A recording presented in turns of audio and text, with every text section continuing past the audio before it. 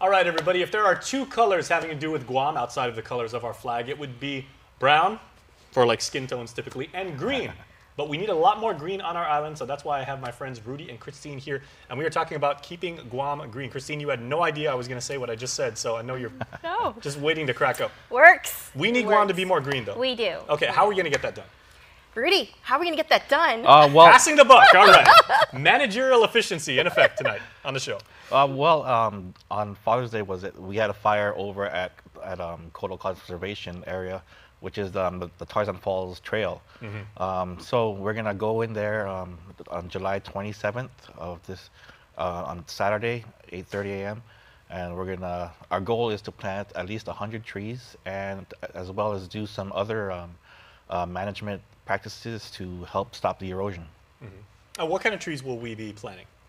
Um, um, native trees such as Dauk and uh, some pandanus, um, probably some uh, native pl- plumeria as well. Okay, very, very cool. Yeah. So we're, we're making sure that Guam's native flora and fauna continues to thrive here. Correct, All yes. right, outstanding. Okay, um, how long will it actually take for these those trees to mature? And like, uh, uh, are they saplings already when when we They're, they're them? saplings. They're they're at least um, a couple months old. Okay. And the so right now what we have there was, was acacia trees, which uh, help build the soil up, and we're gonna we're gonna eventually replace them with the, the, native trees.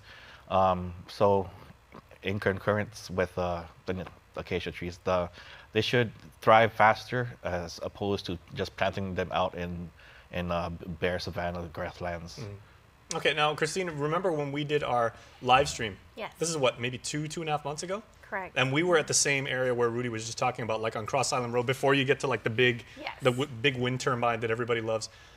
We got so many comments on that show when Chris Barnett was interviewing you, and people were mm-hmm. like, "I had no idea that Guam could look like such a wasteland there." Yeah. And they were like, "Okay, it's it's not something where it's like a bunch of physical waste, and you know, people have like deposited, you know, diapers and yeah. uh, dishwashers and everything like that. People were just like, that all came from the fire. People, people who have lived there for 40 years were blown away. Right, right. It's this fire. So this site, the the forest, the fire burned up behind it, and it burned out towards the road.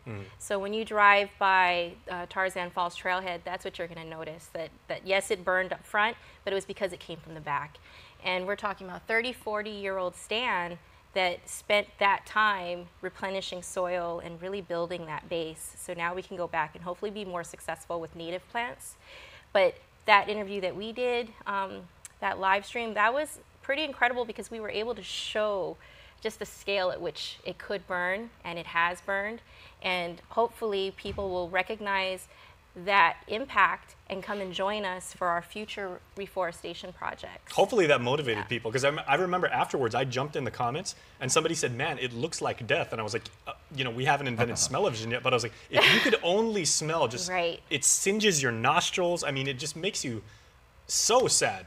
And that was a completely natural occurrence, as far as we know, right? that was just because it's a dry season. it's dry season and the, the vegetation was as we say primed for burning because it was so dry. Every the, the moisture content was low in our in the grassy fuels which we saw there. Mm-hmm. But it the these fires on Guam don't occur naturally. They are human caused fires. And I think I said human caused ignitions which mm-hmm. got a lot of flack for Put the put the blame on irresponsible people. But that's what it is. It's, Yeah. it's, it's human caused. And when you, so you saw that as grassland burned. When you come out to the Tarzan Falls Trail and you see the devastation there, it really doesn't look like Guam.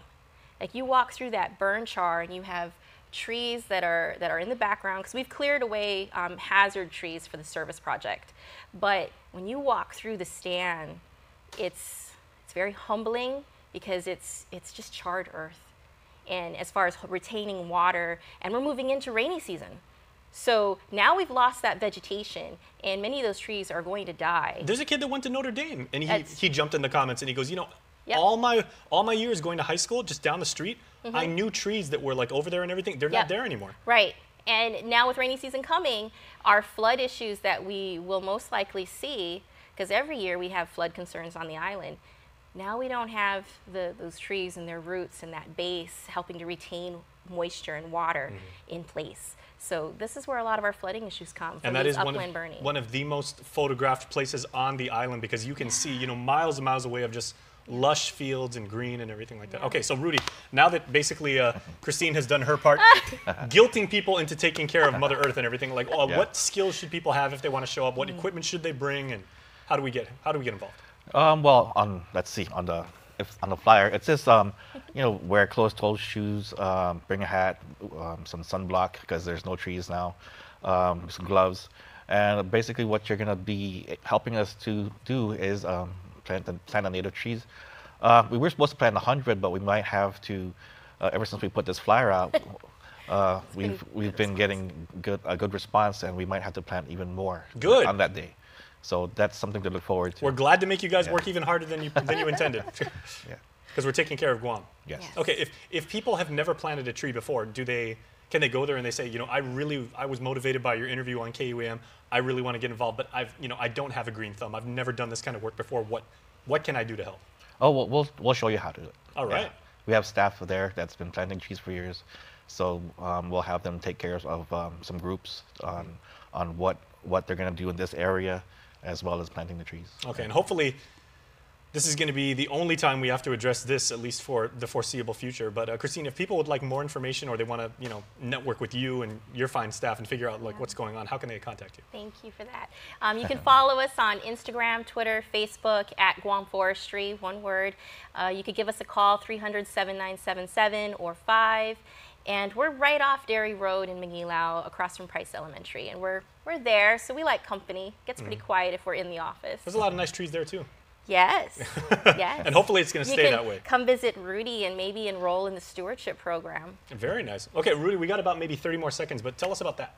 So the stewardship program is, uh, is mainly for landowners that have big tracts of land that have, um, let's say, erosion control issues, or they want to convert their grasslands into native native forest, um, or um, you know, habitat enhancement for, for, for their property. All and so they just sign up uh, with me, and we'll do a site visit, and we do recommendations on what they they can plant on their property. It's free. It's free. Ni- okay, good point. Right? It's thank you, thank you so much. Okay, so so in closing, basically one of the most fundamental rules: take care of the island, and the island takes care of you. Correct. Yep. All right, thank you so much. Thank you. All right, please stay tuned. We are back. Guam's auto appearance specialist, Elegant Reflections, has been providing the automotive industry with professional detailing and car care products at its highest quality from complete detailing, full interior detailing, exterior detailing, headlamp restoration, hand washing, seat and carpet shampoo, engine degreasing, undercarriage cleaning, paint sealant, fabric protection, paint oxidation removal, and so much more. Visit us at our new location. Call 646